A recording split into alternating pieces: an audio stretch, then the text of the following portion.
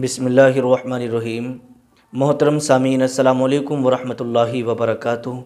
मेरे प्यारे अज़ीज़ दोस्तों, उम्मीद करता हूँ कि आप सभी खैरियत से होंगे। अल्लाह पाक आपको सलामत रखे, खुश रखे और आबाद रखे। तो आइएगा, जैसे हमारे एक भाई ने कमेंट किया कि हज़रत, सब कुछ ठीक है, लेकिन यहाँ पर मुझे सिर्फ़ एक परेशानी का सामना करना पड़ रहा है। और वो ये है, जैसे ही मैं हम बिस्तरी के लिए बीवी के बिस्तर पर जाता हूँ तो इरेक्शन पावर बिल्कुल अच्छी होती है, सब कुछ ठीक होता है टाइटनेस वगैरह अच्छी होती है।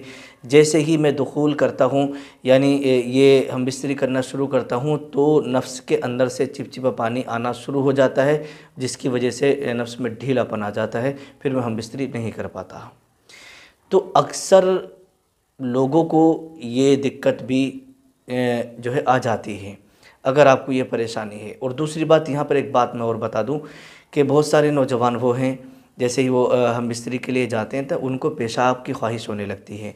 यानी पेशाब लगने लगता है। तो वो सोचते हैं कि चलो पहले पेशाब से फारिग हो जाएँ और पेशाब करके फिर उसके बाद हम बिस्तरी कर लेंगे। तो जैसे ही जब जब तक उन्होंने पेशाब नहीं किया था तो तब तक नफ्स के अंदर इरेक्शन पावर बिल्कुल ज़बरदस्त तरीके से थी। नफ्स में तनाव अच्छा था टाइटनेस वगैरह बिल्कुल अच्छी थी, लेकिन जैसे ही वो टॉयलेट पेशाब के लिए गए, उन्होंने पेशाब किया। अब उसके बाद आकर के वो बीवी के बिस्तर पर जब पहुँचे हम बिस्तरी के लिए तो घंटों गुजर जाते हैं, लेकिन फिर तनाव नहीं आता है। यानी फिर जो है नफ्स के अंदर इरेक्शन पावर बिल्कुल भी नहीं आती है। और वो ये सोचते रहते हैं कि अभी तो इरेक्शन पावर तनाव वगैरह बिल्कुल ठीक था, लेकिन अब क्यों नहीं आ रहा है? वो चाह कर के भी, कोशिश करने के बाद भी फेल हो जाते हैं। यहाँ तक कि हम बिस्तरी नहीं कर पाते। तो ये दो दिक्कतें अगर आपके सामने है। एक तो ये, जैसे आपने हम बिस्तरी करना शुरू किया चिपचिपा पानी आया ढीलापन आ गया, नफ्स में लूजपन आ गया। हम बिस्तरी फिर नहीं हो पाती।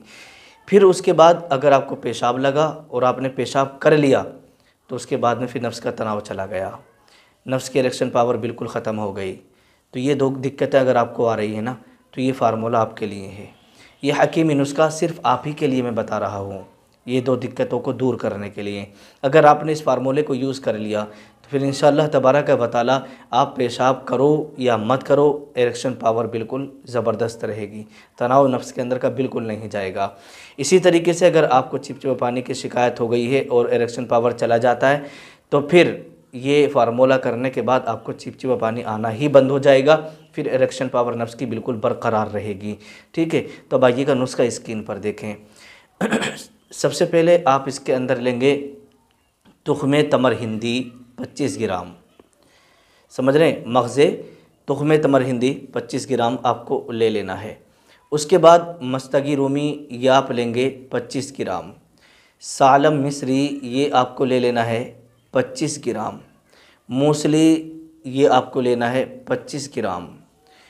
मगज़े, तुखम खयारैन ये आपको लेना है 25 ग्राम।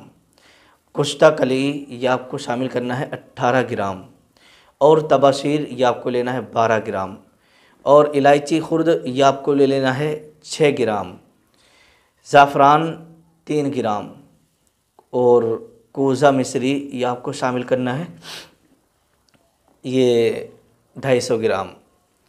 तो ये आपका मुकम्मल नुस्खा हो गया। अब इन तमाम अज्जा को आप अच्छी तरीके से कोट पीस के इसका बारीक पाउडर बना लें।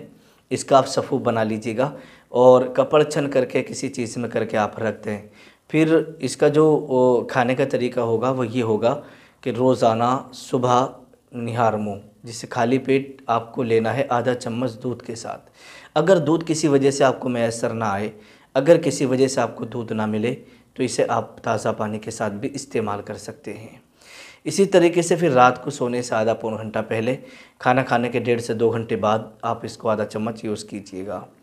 इन तबारक वाली जैसे जैसे आप इसको इस्तेमाल करते चले जाएँगे, वैसे वैसे आपकी टाइमिंग में भी इजाफ़ा होता रहेगा और इरेक्शन पावर स्टैंडिंग पावर बिल्कुल ज़बरदस्त और यूँ समझिएगा कि मुस्तकिल तरीके से आपकी रहेगी।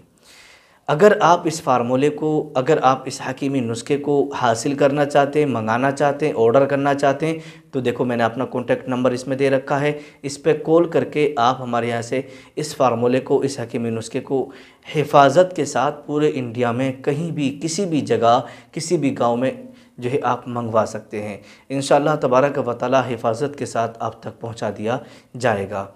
असलकम वरहमल वर्का